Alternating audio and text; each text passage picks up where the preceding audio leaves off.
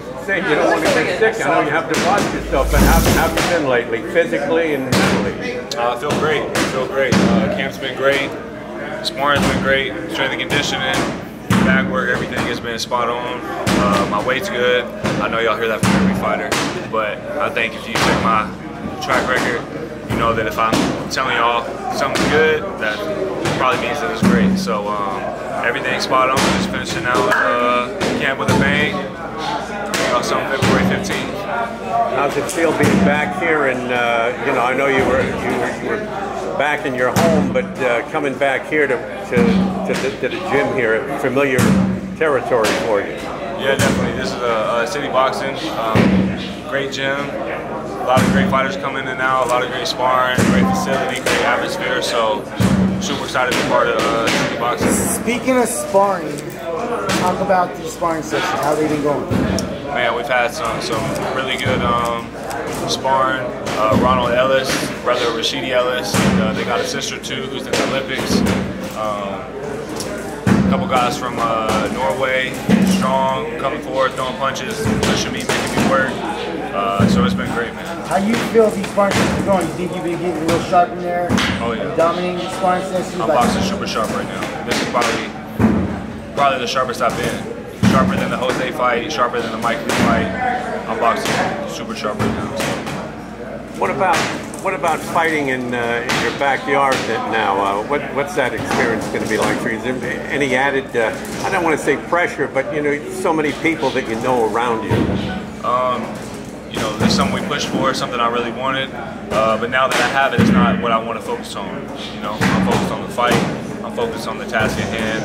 And um, yeah, I'm not really concerned. I know there's going to be a lot of people trying to pull me in different directions, but I'm not going to let that happen. I'm focused on the task at hand. So.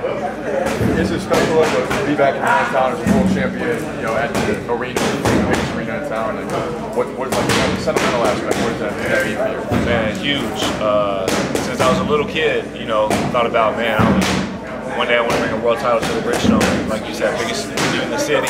Um, so to be doing that as a world champion um, at this point in my career, it's awesome, huge. I'm gonna make the most of it. What do you think of your um, opponent? He's not real well known here in the United States, but he's definitely got a good record. Yeah, big record, um, a lot of knockouts. Um, he's been the uh, the WBA interim champ, and that's more than a lot of guys that we do know over here. You know, so um, I know he's going to take what's mine. I know he's. Uh, I know this is the biggest moment in his life, uh, but he'll fall short. So. And your last fight against Mike Lee was uh, explosive and fast, um, but the, the downfall is you didn't get a lot of rounds in that fight. But do you feel like everything is on point for, as far as this fight goes? No rust or anything? Oh yeah. I mean, uh, went 12 rounds with Jose. Uh, turned right back around. Uh, had a great camp. Got in rounds with a couple rounds with uh, Mike Lee, and, um, and like I said before, my sparring, I'm, I'm boxing probably sharper than I ever have. My offense is more than it's ever been. My punching power, my defense is just as slick. My footwork, I mean, everything is on the highest level. So you guys are, you know, I fought Jose. You've seen the best Caleb Plant. I fought Mike Lee. You didn't get to see a whole lot of it. That was the best Caleb Plant. Now in this fight, I'm going to be even better Caleb Plant. So. And that last fight was um, like a, a, headline before the pay-per-view event. This is just by itself, standalone headline. How do you see your progression as far as that, you know, the main event level fighter? Um? It's exciting. You know, I, I got to, to main event on FS1, uh, triple the, the views, broke the record. You know, before mine it was like 300,000 something. Uh, fought Jose, it was like 986,000. Um, the highest viewed boxing match on FS1 in, in history. You know, and uh, turn right back around. Main event on Fox before the Fox pay-per-view, and then to turn right back around and be main event on Fox again. I feel like you know my career is right where it's want to be, right where I want it to be, and uh, I'm just taking it one fight at a time, and um, yeah, get this out the way, and then we move on to what's next. And I know you're focused on this fight, but everyone always asks you, when's the unification coming? Is that what you want after this fight, or what can you say about that? Um, I don't know. I'm just focused on this fight right now. That's a y'all heard me to, you know, tell you guys that I want that fight. Um, that's a fight that I do want. That's a fight that I've been pushing for. That's a fight that I'll continue to push for. Um, but it takes two to dance, and not only that, but there's, you know, people above us who, may want that to like simmer. a little more. You know, with us maybe being so young in our career. Uh, I'm not interested in that. I don't care about weight. Otherwise, I won five four world title with you know 17 fights uh, against the opposition that I did. So, um, but right now I'm just focused on the task at hand. I don't really care about anything else. What do you think of your division right now as a whole? It looks like Canelo's coming back to it, so it's just getting more star power and uh, bigger. What do you think? I feel like uh, the super middleweight division is the hottest that it's ever been. Uh,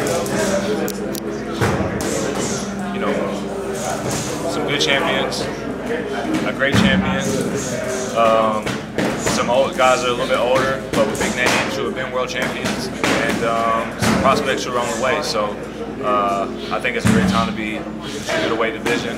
And um, real soon, I'm looking to.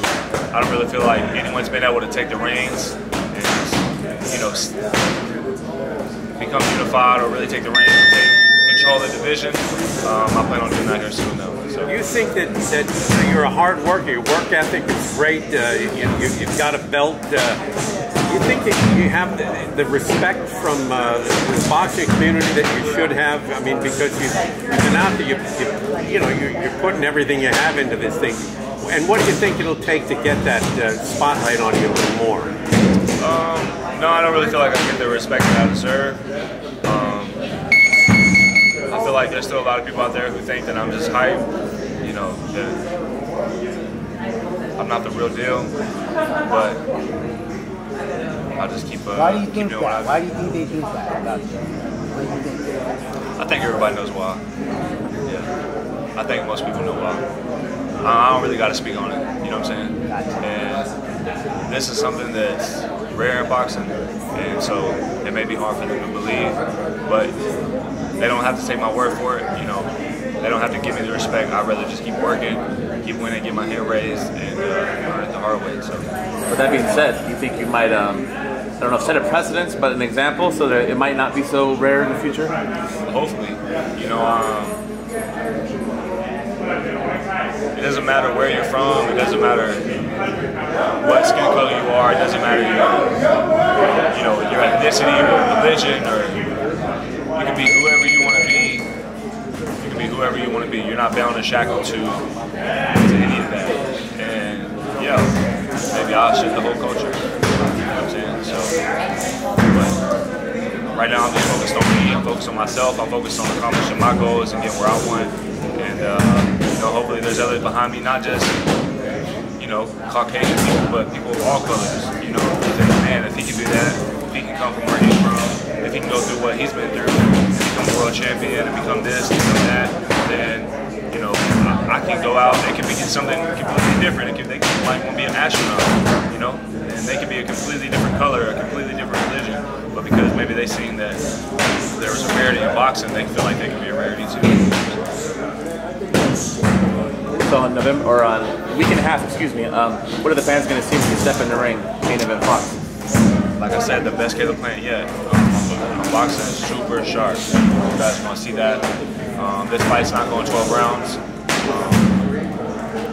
like I said against Mike, either Joe wave the white flag or I'll wave it for him. So. We look forward to seeing it. Thank you.